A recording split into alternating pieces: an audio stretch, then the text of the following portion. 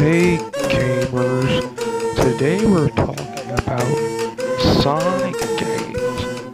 More specifically, my top 5 Sonic games. Number 5. My fifth favorite Sonic game is Sonic CD. Not because of anything in particular, but I like the time travel and it is fun. Number 4. My favorite Sonic game is Sonic 4 Episode 2. Why Episode 2? Because Episode 2 is the second one, and that makes it better than the first one.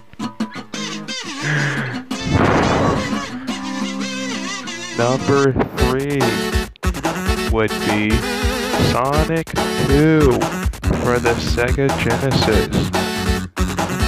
That one is fun because it is a straightforward Sonic game.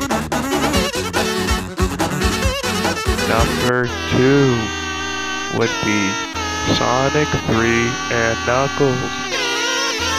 Yes, I mean the one with the lock on, because that is how it's meant to be played and it has Michael Jackson's music in it.